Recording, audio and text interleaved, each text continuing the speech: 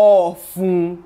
I don't know why this show is called Ajoche. It should be called Ofun because, in my opinion, it is hard as we came here to watch.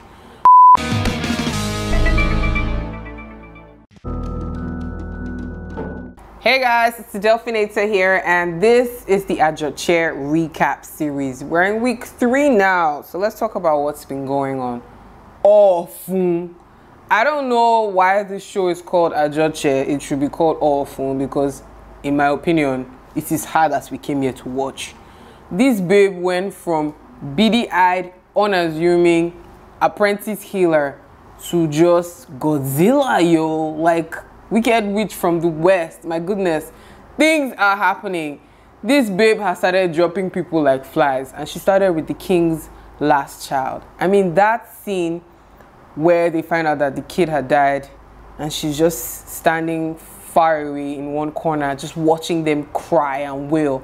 And then she gives this really intriguing monologue about how their skin will crawl or something, about them dropping like flies that they will drink the tears of bitterness or something of that sort. I'm going to insert it somewhere.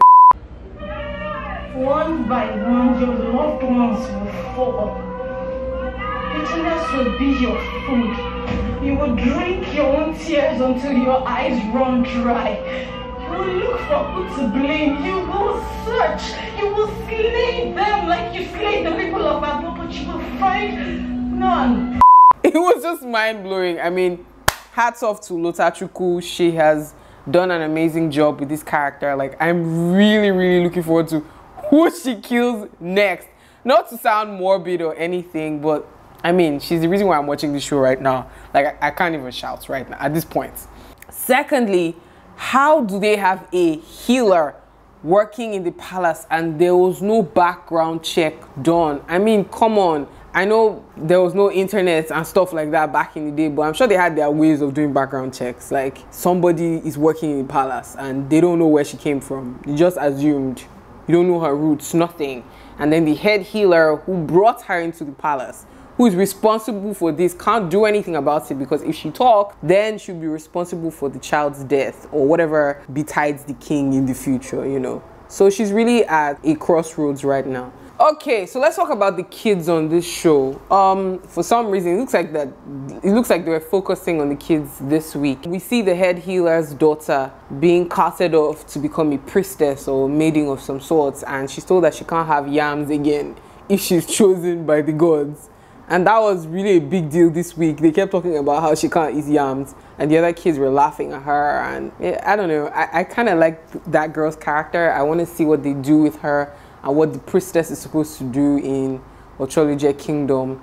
Also, Ashes, uncle, you know, the kid that was saved from Abo, the, the kingdom that was obliterated.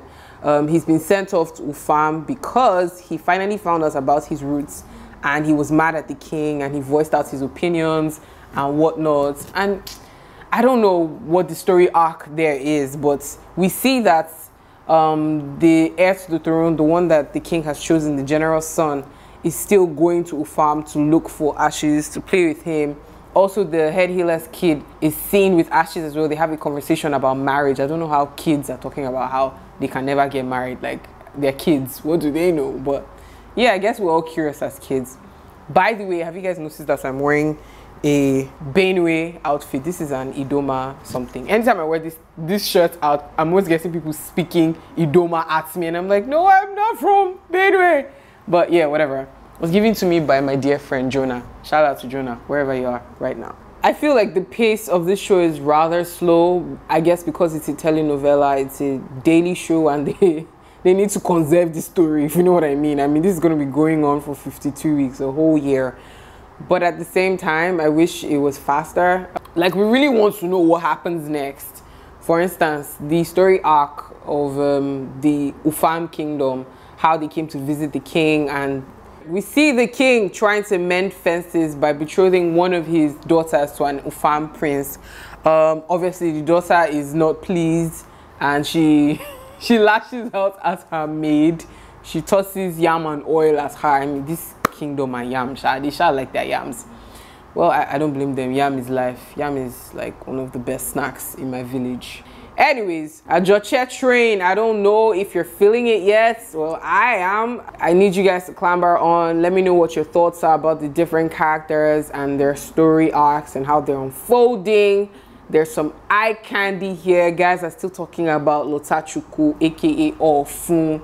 There's Black Bassi. We have Chris Okagbue. Who else has chased in this show? Oh, Bolum, Asa Samuel, by the way, is in this show.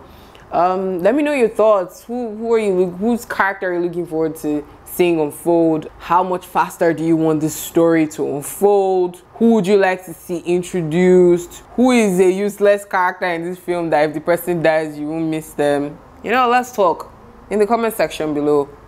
Um, once again, it's the Delphinator here. Do not forget to subscribe, hit the thumbs up button, and share this video. Until the next one, toodoo!